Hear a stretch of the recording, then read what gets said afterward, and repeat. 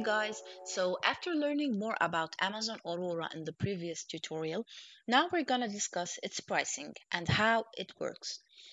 So Amazon Aurora is actually a pay-as-you-go with no upfront fees. There is no minimum fee for you to pay.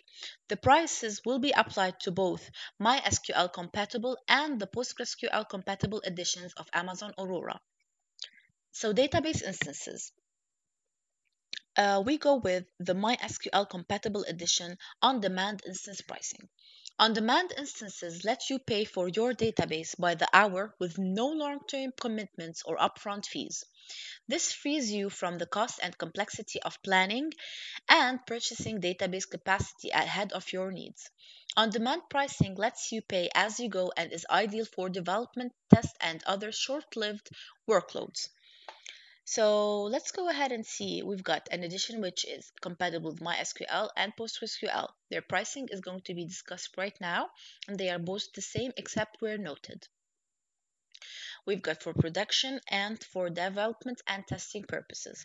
Let's keep talking about the pricing for the on-demand instances.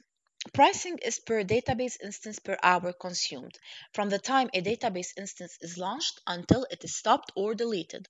Partial database instance hours are billed in one second increments with a 10 minute minimum charge following a billable status cha change, such as creating, starting, or modifying the database instance class. Now, instance pricing applies to both primary instances used for read-write workloads and Amazon Aurora replicas, which are used to scale reads and enhance failover.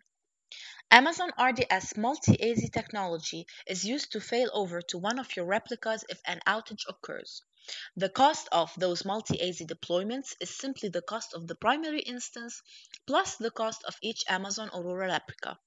To maximize availability, it's recommended that you place at least one replica in a different availability zone from the primary instance.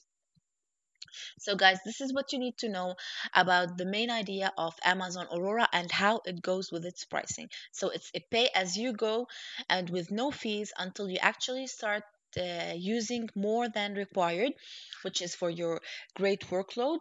And of course, this is going to happen if you are aiming to expand your work and reach more places, you're going to need to pay for this, of course.